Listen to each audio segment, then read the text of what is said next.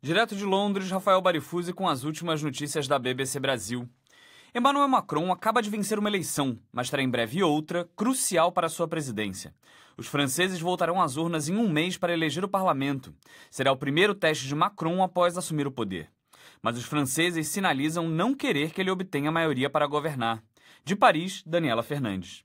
O presidente eleito Emmanuel Macron tomará posse neste domingo. Em junho, ele e seu partido buscarão obter maioria no parlamento, mas não será nada fácil. Há 577 assentos em disputa e o En precisa conquistar 290 de uma só vez.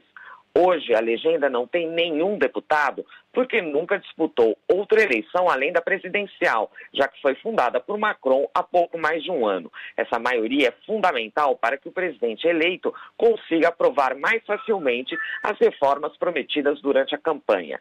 Mas uma pesquisa divulgada pelo Instituto Ipsos ontem à noite indica que 61% dos franceses não desejam que Macron obtenha maioria. Isso ocorre porque boa parte dos eleitores votou nele por falta de opção e não por convicção queriam impedir que a extrema-direita de Marine Le Pen chegasse ao poder. Se outro partido obtiver maioria, como pode ser o caso da direita conservadora de os republicanos, Macron precisará fazer um chamado governo de coabitação e ter como primeiro-ministro um nome da oposição. Seria inédito na política francesa isso ocorrer já no início do mandato. Outra opção seria Macron governar por meio de uma coalizão partidária, algo que não ocorre há 60 anos. Após a derrota, Le Pen anunciou planos de renovar o seu partido, a Frente Nacional, e se firmar como principal nome de oposição. Essas foram as notícias da BBC Brasil.